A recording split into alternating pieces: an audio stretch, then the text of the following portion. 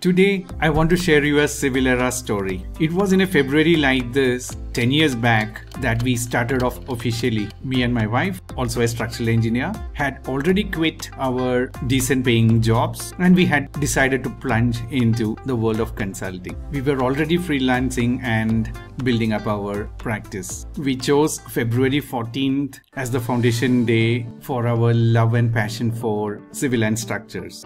Moreover, it happened to be my birthday as well. We started off as a consulting firm. The brand name was Design Dimensions and we got into consulting. My wife had experience as an assistant professor as well and we used to discuss a lot about the college curriculum and the gaps in learning. We also remembered our own struggles as students in skilling up and thought we need to diversify and get into training. We were also finding a lot of gaps in the engineers we interview and in the interns that we meet. Soon we diversified into training, offering both direct and online training. We are one of the first to offer online training in building structures. We didn't spring up during the COVID times, we are here for the last 10 years now. These years of experience makes our courses and mentoring program stand out from the other courses in the market. We have a very well structured content, the right sequence and methods, and most importantly, the tools that guarantees you a learning outcome. We took a major business decision on uh, February 14th.